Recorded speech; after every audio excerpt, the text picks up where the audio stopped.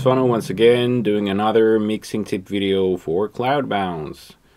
Today I wanted to be talking about compressing versus limiting your song.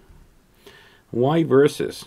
Well, these are two totally different things, but still seems that some producers every now and then seem, seem to confuse these two, and the result will be pretty bad. What do I mean by this? Well, on every music forum ever, every music group on Facebook, every now and then somebody will be asking, How do I make my song loud? I don't understand it.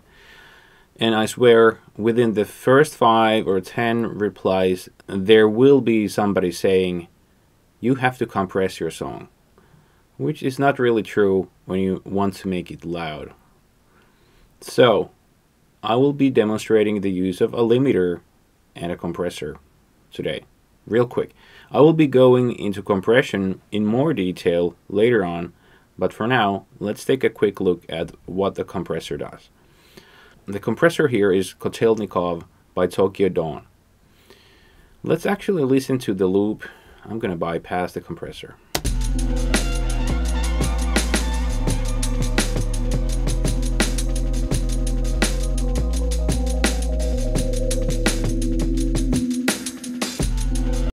I think the snare is a little pokey.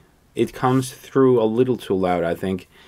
And compressor is your friend here because compressor is a dynamic tool that helps you squeeze the song or the signal a little bit. Well, you can totally destroy it if you wish, but it, when dealing with the song, you usually just even out the dynamic variation a little bit.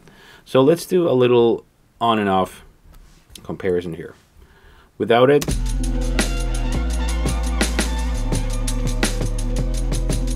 with it.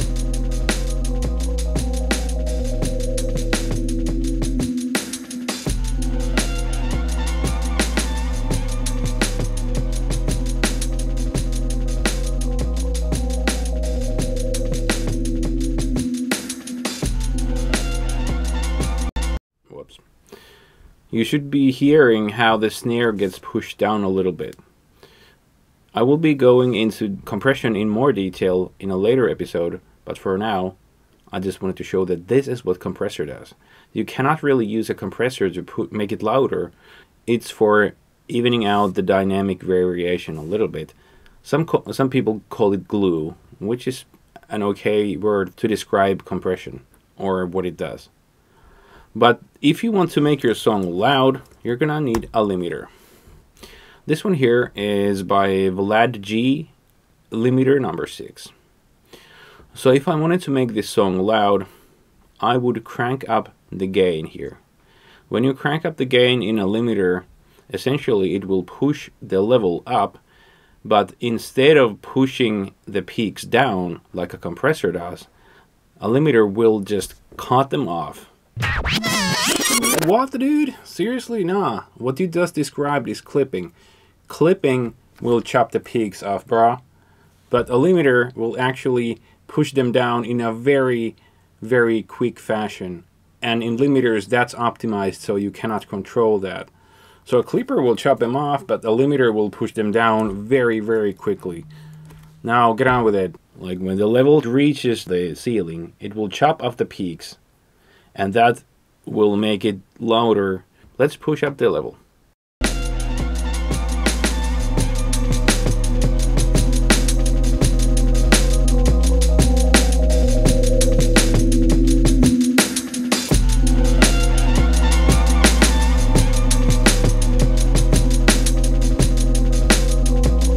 So there it is, in a nutshell. The difference between a limiter and a compressor. A compressor will even out the signal variation a little bit, but limiter is the one that will push the level up and chop off the peaks so you can actually make it fit inside the available audio space and not destroy the level. So, compressor, limiter, that's it.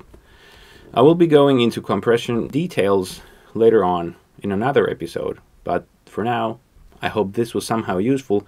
And if you have any questions, just ask me and we'll be hitting you back. If this is your thing, just make sure to subscribe to CloudBounce's YouTube channel. And till the next time.